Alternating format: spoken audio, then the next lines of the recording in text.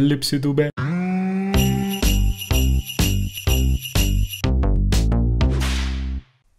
Mahtavaa sunnuntaita ja samalla itsenäisyyspäivää. Me ollaan jätetty kaikki jouluhärpäkkeet pois, vaikka Lypsytuben joulukalenteri tänäänkin niin kuin näkee uuden luukun. Päivää, sunnuntaita ja sitä rataa. Hyvää päivää, hyvää sunnuntaita, hyvää itsenäisyyspäivää kullekin säädylle sinne vastaanottimien ääreen. Vaikka onkin itsenäisyyspäivä, niin meidän joulukalenteri kyllä avaa taas uutta luukkua. Totta kai, koska me halutaan lähettää näitä paketteja teille sinne, niin me ollaan saatu aimo kasa taktiikilta huikeita lautapelejä, leluja, Ää, siellä on kaiken näköisiä erilaista hassuttelua. Oli muun muassa tämä Prankster-peli eilen, missä oli Joo. erilaisia jekkuja. Tuli vaan mieleen, että mä oon pikkupoikana saanut joskus taikurikamat.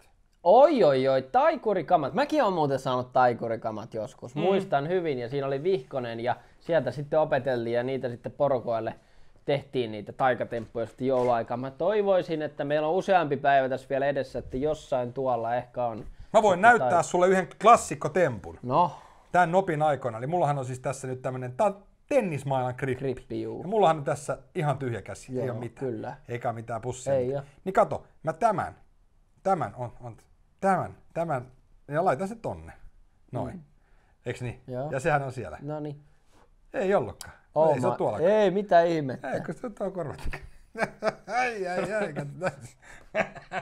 Näin. Mutta Joo. en tiedä, sit voi olla, täällä on taikuri. tänään taikuripeli. Kuka tietää hei? Toivottavasti tulee taikuripeli, niin saadaan vähän päivitystä näihinkin temppuihin. Mutta eiköhän me laiteta avaten nämä paketit. Kyllä, kyllä, mutta sanoiko sä, että äh, meidän katsojilla on mahdollisuus saada nämä paketit? En itse asiassa varmaan selittänyt konseptia, ja konseptihan on sen verran yksinkertainen, että aina kun Niin katsot videon, niin, niin, niin, kun katsot videon, niin jos tulee semmoinen fiilis, että tämä lahja voisi nyt olla semmoinen, minkä minä haluaisin, tai minä haluaisin antaa jollekin läheiselle, niin käy kommentoimassa, että minä, minä, minä, ja haluan antaa sen Petralle ja Villelle. Niin, Niin jo joo. yksi teistä aina voittaa sen kyseisen lahjan. Ja mitä lähemmäs me tullaan jouluun, sitä epätodennäköisempää, että me keritään postittaa nämä teille jouluaatoksi, mutta ne tulee jossain kohtaa. Joo, Ja jossain muistakaa laittaa meidän kanava tilaukseen ja katsoa aikaisempien päivien jaksot. Mut nyt, sä saat avaa sen, mä avaan tän.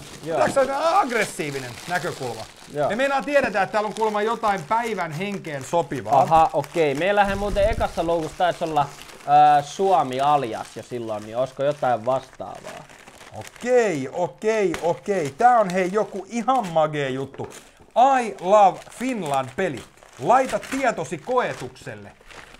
Ovatko Saimaan norpat, Sibelyksen sulosoinnut ja kännykän heiton MM-kisat tuttuja? Uu, nice. Mikä sulla? Mulla on Suomi-tietopeli, mitä jokaisen suomalaisen tulee tietää. Eli taitaa olla vähän tämmönen, katsoppa tota ö, taulukkoa, niin vähän Trivial Pursuit henkinen on toi niin kuin systeemi tässä. Mutta kysymykset koskee sitten Suomea. Suomen historiaa, tiedettä, luontoa, kulttuuria, urheilua, maantiedettä yleistä. Mä haluan kyllä avata tämän ja kysyä sulta pari kysymystä. Kuulostaa hyvältä.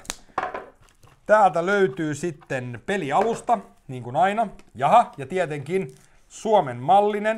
Mä luulen, Wow. että tässä on varmaan idea, että lähdetään jotenkin niin kuin kömpimään Suomea pitkin täältä niin sanotusti laiva satamasta kohti joulupukkia. Eli molemmat näistä peleistä on nyt tämmöisiä Suomi-tietovisoja. Se on nyt käynyt tässä selväksi. Täällä on myös pelilauta. Se on tommonen niinku ympyrän mallinen. Mä en vitti sitä hirveästi avata, niin ei mene sitten lahjan saajalta pilalle. Ja sitten täällä on nappuloita. Mutta mä avasin yhden näistä nyt näistä kysymysjuttuista. Ja Jari, täältä tulisi.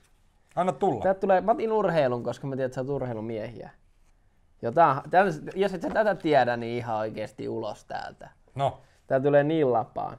Minkä, minkä lajin Euroopan mestaruudenkin haltija on Mika Fors? Raviohjastus, kurlinki, jousiammunta, maastopyöräily. yksi. Raviohjastaja. Ja saat Jari aivan täysin oikein. Se on just saat näin. sieltä pisteet. Mutta kato, mulla onkin täällä tämmönen näin.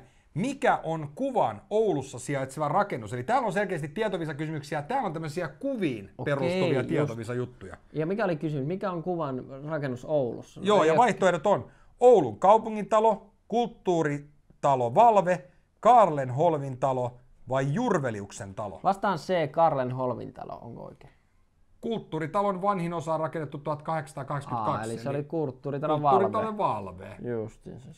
Eli nyt menit nämä pelit niin 1-0 mulle. Niin meni, mutta mä tykkään tietovisosta yli kaiken. Mä haluaisin tämän pelin itselleni. Täällä on niin, mä jotenkin tykkään, mä jään tähän ihan heti saman tien koukkuun. No mä otan vielä, täällä, täällä on eri aihealueet. Täällä on tämmöinen tavat ja perinteet. Mhm. Mitä on Keski-Pohjanmaan alueella valmistettu perinneruoka mutti?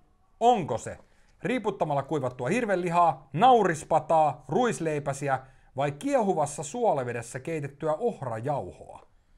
Mutti. Mä tiedän, että mutti on semmonen tomaattisose ainakin merkki. Sen mä tiedän. Sanois vielä vaihtoehdot äkkiä. Riiputtamalla kuivattua hirvenlihaa, naurispataa, ruisleipäsiä vai kiehuvassa suolavedessä keitettyä Mä ohrajauhoa? sanon naurispata.